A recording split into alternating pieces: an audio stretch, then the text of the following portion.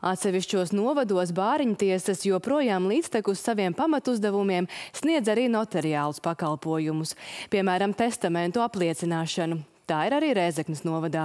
Pilota projektā, kurā piedalās Rēzeknes novads, šīs funkcijas no bāriņtiesu pleciem uz laiku noņemtas un uzticētas zvērinātiem notāriem, lai novērtētu, kā tas darbojas.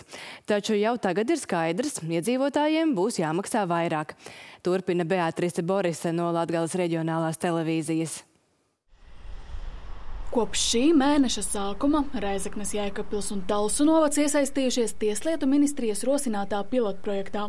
Proti, divu mēnešu garumā šajos novados bāriņtiesas nesniegs notariālos pakalpojumus, tos uzticot zvērinātiem notāriem.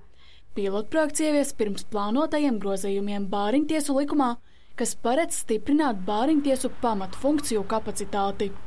Tas, ko mēs vēlamies, lai stiprinātu bāriņtiesas to pamatu uzdevumu, noņemt bāriņtiesām netipiskās funkcijas, un tā piemērs varētu būt nostiprinājumu lūgumu, tad parakstu uz nostiprinājumu lūgumiem nekustamā īpašuma ierakstīšanai zemes grāmatā apliecināšana.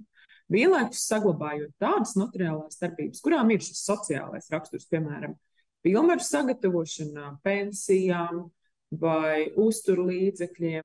Uz plānotajiem grozījumiem Bāriņtiesu likumā pozitīvi raugās gan Bāriņtiesu, gan Latvijas zvērinātu notāru padomes speciālisti. Piemēram, Rēzeknes novada Bāriņtiesā pērn veiktas aptuveni 2000 notariālas darbības. To vietā Bāriņtiesas varētu veltīt vairāk laika saviem pamatuzdevumiem. Kaut nedaudz, nu, bet atvieglos Bāriņtiesas darbinieku pienākumu izpildījām un pie lielā darba apjoma Mēs varēsim daudz kvalitatīvāk veikt savus uzticētos pienākumus, kas skar bērnu un aizgādnībā esošu personu. Iedzīvotājiem gan jārēķinās, ka, lai saņemtu notariālos pakalpojumus pie zvērināta notāra, nepagastā, nāksies mērot lielāku attālumu. Tāpat Rēzeknes novada bāriņtiesas priekšsēdētāja norāda, ka apmaksa par pakalpojumiem pie notāra būs dārgāka nekā bāriņtiesā.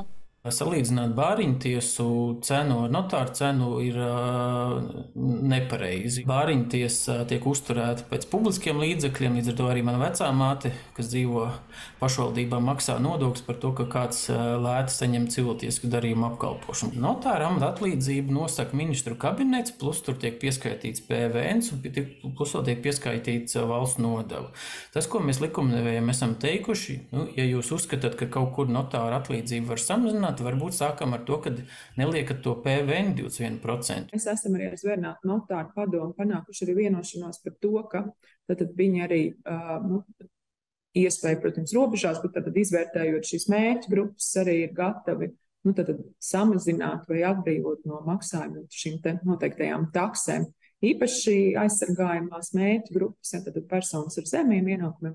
Ja plānotie grozījumi Bāriņtiesu likumā gūs atbalstu arī sējumā, paredzēts, ka tie stāsies spēkā jau nākamgad. Beatrice Boris Andrejs Mažāns, Latgales reģionālā televīzija.